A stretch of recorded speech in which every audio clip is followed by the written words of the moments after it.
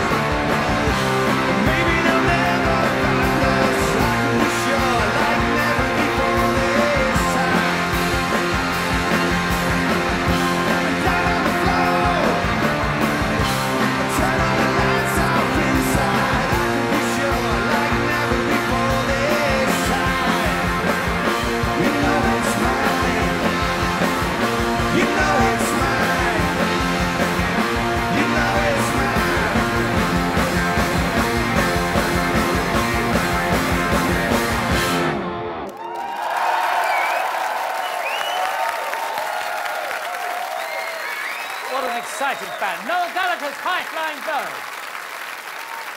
Lock all the doors from the album Chasing Yesterday. I will be discussing that and much more with Noel later on in the show.